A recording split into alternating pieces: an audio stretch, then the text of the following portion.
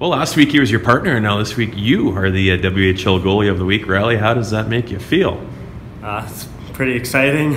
Didn't exactly happen last year for me, so uh, yeah, it's something new. It's something special, I think, and uh, especially to come out after Ethan did it last week. I think it's really, really helping both of us get along this year. So obviously uh, the broken hand was a setback, and then uh, took took me a little while to get back into it, and then I think I'm starting to get back into it really nice here, and hopefully make a push for the playoffs. And I think it's good timing. I think we've been getting quite a few shots, but uh, most of them are pretty pretty straightforward. They either block it or it's a pretty simple shot from the top of the circle or something like that. So it's pretty easy for us when they're doing their jobs. Talk a little bit about the, dyna- the dynamic between you and Ethan. You guys are both playing superb between the pipes. Uh, what's it like being part of a, a top notch tandem right now?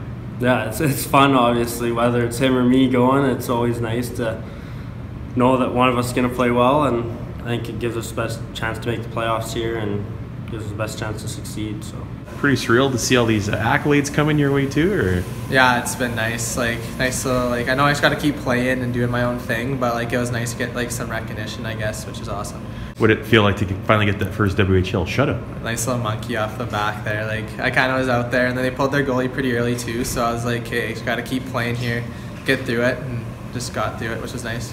Good for them. I mean, we we need that. And I think every team needs the good goaltending. But you know, we've got two guys that are going well right now, and uh, you know, making key saves when they need to, and and uh, you know, holding us uh, there. Sometimes they're getting outshot, but uh, you know what? When they're when they're on and making the saves that we need, you know, they're obviously there. So uh, good for those guys.